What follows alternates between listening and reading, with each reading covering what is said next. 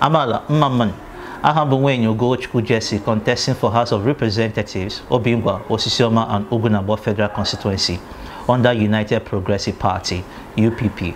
My constituency project will focus on encouraging diversified farming to engage agricultural revolution, placing 5,000 primary school pupils, 10,000 college students, and 5,000 undergraduates on scholarship.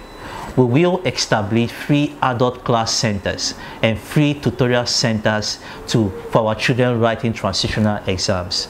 Definitely, serious attention will be paid to job creation, social welfare, and objective empowerment. Through strategic partnership, we'll conduct free mobile medical checkup and immunization quarterly.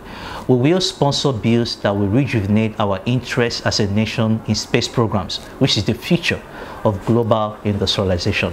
With these few amazing projects, I believe you will support my candidacy for House of Representative Obingwa and Osisioma and Ugwunagbo Federal Constituency.